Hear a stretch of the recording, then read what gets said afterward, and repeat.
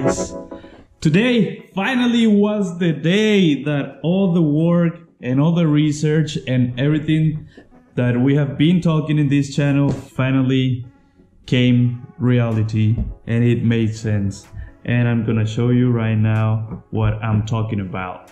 Today was a day that all the work, like I said, uh, all the research and trying to understand Instacart finally shows results. So let me show you today. Uh, I did pretty good and I want to share with you why I'm so happy.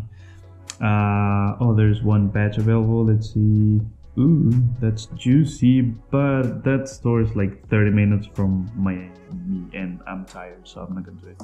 So let me show you. We've been talking about speed and ratings and cancellation rates and uh, accuracy and all these stuff uh, for your metrics in Instacart and how to improve to get better batches. And let's see, yesterday my last order dropped my cancellation rate to 0% finally. And uh, I've been keeping uh, my speed here. I'm not trying too hard anymore. I will try to keep it between 50 and 60. Still, when I go to a store, uh, I don't click start shopping until I have a bunch of things on the cart. Uh, so when I have like I don't know a good amount of, of items, start scan, uh, start shopping, and then scan, scan, scan, scan, and that way you drop your your average uh, speed substantially. Like you can see, all my last all my orders for today pretty much were under 60 seconds, between 40, and then I got some pretty fast ones that were Costco orders that I go inside I grab everything and then when I'm on the lane, I click start shopping, scan everything. Uh, so that's that's how I get these low low uh, speeds. And also uh, the results from yesterday were, were not as good as today because of the cancellation rate. I want to think that I don't think it's just a coincidence. I don't think it's luck. And I'm gonna tell you what my definition of luck is. So I started today with five stars uh, that I'm thankful for that. Also, I don't have any more reported issues, which is good. And also 0% cancellation rate, which is great. And I think I started today with 55 speed, something like that. So I'm, uh, I'll, I will just try to keep this between 50 and 60 seconds. And let me show you now uh, what I did today today's current week and Wednesday, July 21st. And boom, here you got it. Uh, I got my first order at 10 a.m. It was a Costco one. And you see, it was a fat tip.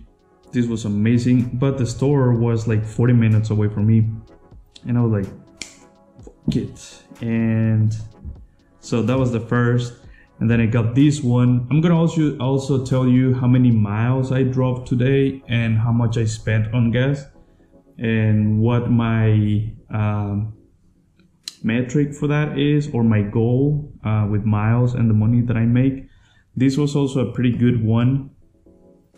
And by the end of the day, I got this uh, Costco, which was far away from from where I live.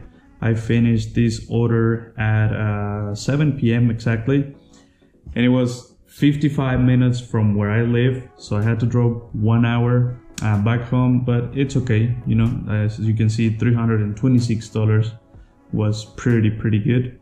Um, and yeah, I'm happy because all that we've been talking in this channel also i learned from from uh, you in the comments that you're commenting oh this helped me this helped me and i do this i do that and all that uh, just bring the results that you're seeing right now which is what I had before. And I'm gonna tell you also one thing that I noticed this morning.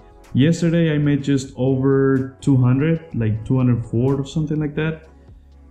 And I noticed that this batch from yesterday increased the tip. You see, it was 28, and then this morning I woke up and it was $39.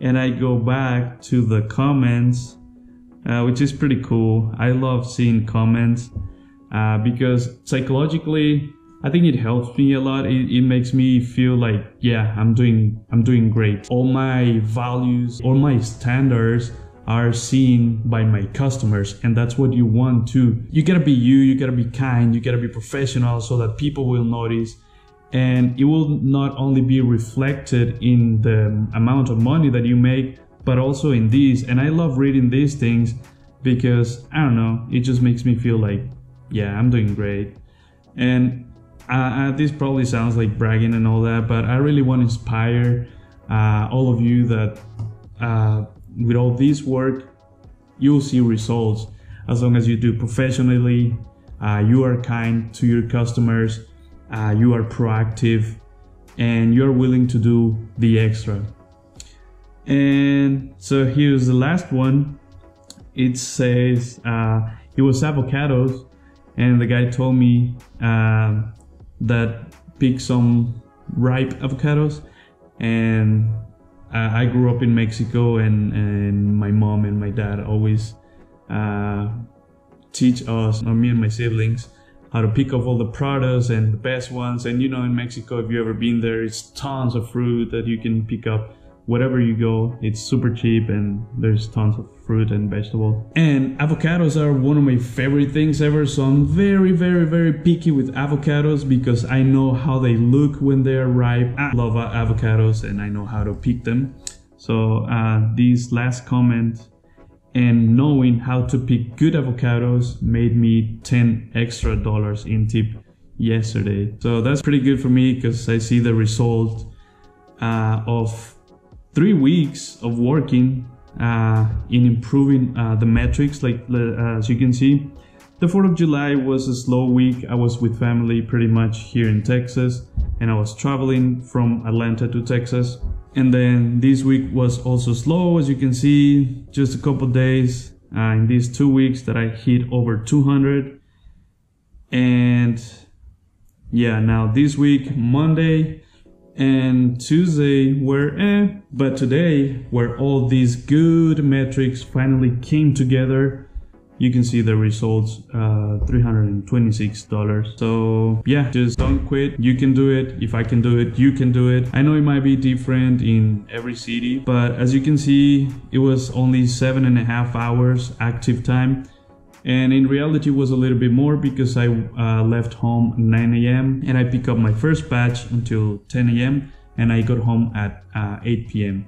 which total would be like 11 hours but it was uh, one hour uh, driving from home to the store for the first one and uh, one hour coming back uh, from home so total was like nine hours I would say here's how much I spent in gas and this is the miles that I drove.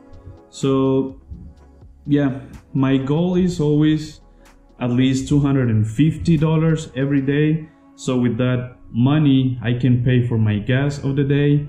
And if I eat outside, outside, um, I also pay uh, my meals with that so that it will leave me 200, at least 200 free uh, for all my expenses that I have you know your bills my car payments uh, insurance rent whatever you have to pay.